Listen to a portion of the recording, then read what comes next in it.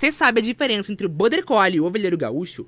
Muita gente acha que se trata do mesmo cachorro, mas são raças bem diferentes. O Border Collie tem origem inglesa e tem estrutura de rebanho, sendo ideal para conduzir gado e também ovelhas. A raça não tem característica física, então é comum ver Border Collie com pelo longo e também curto. Já o ovelheiro gaúcho, como o nome diz, tem origem no Rio Grande do Sul. A raça, assim como os Border Collies, também auxilia no trabalho no campo. O ovelheiro gaúcho ele é bem mais peludo e tem pelagem mais clara, em tons de marrom e caramelo.